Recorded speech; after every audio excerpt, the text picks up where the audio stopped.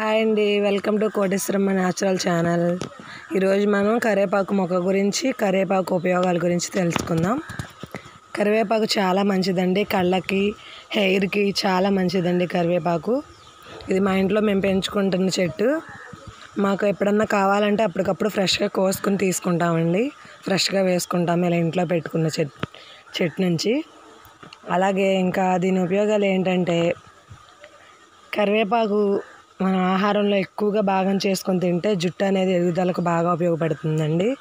అలాగే ఈ కరివేపాకుని ఎండలో పెట్టి ఎండపెట్టి ఆ పొడిని మిక్సింగ్ చేసేసి పొడిని మెత్తగా చేసేసి అది కొంచెం మనం హెయిర్కి అప్లై చేసే ఆయిల్లో కలుపుకొని రాసుకుంటే జుట్టు అనేది చాలా బాగుంటుందండి నల్లగా ఉంటుంది.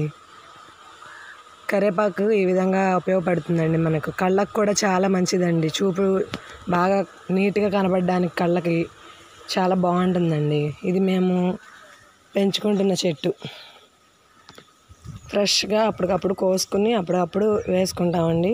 చూడండి ఎంత ఫ్రెష్గా ఉందో. చిన్న చెట్టు కానీ మేము ఇది పా పెట్టి నీళ్ళు పోసి అలా ఏం పెంచలేదండి. అది అదంతటికి అదే మొలిచింది. ఆ విధంగా పెరుగుతూ ఉంది. అప్పుడప్పుడు నీళ్ళు పోస్తున్నాం అంతే.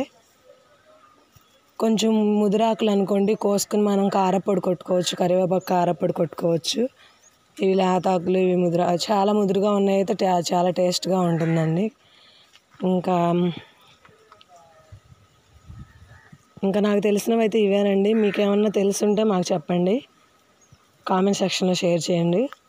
ఈ విధంగా ఉంటుంది. సరే అండి.